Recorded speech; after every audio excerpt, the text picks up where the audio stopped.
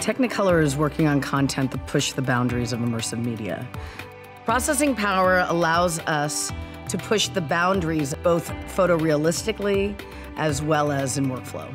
When we designed the Intel Xeon scalable processors, we really were looking across compute, storage, and network and thinking about what types of innovation we could add that would accelerate performance.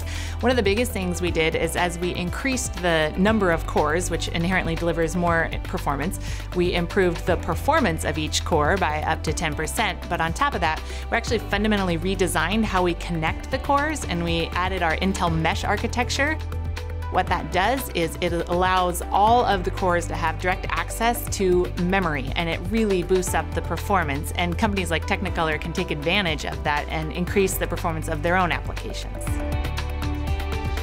In addition, we're adding in the Intel Optane SSDs, which we think will deliver another step function in performance improvement.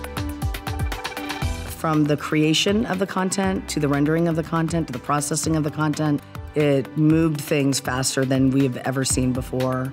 With Technicolor being able to render faster than they could with the previous generation, that's huge.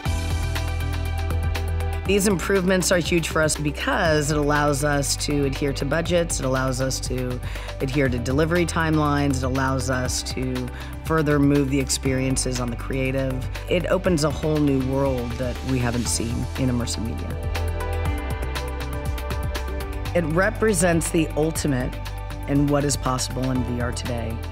And it also makes me feel very hopeful about what will happen tomorrow in VR and immersive media.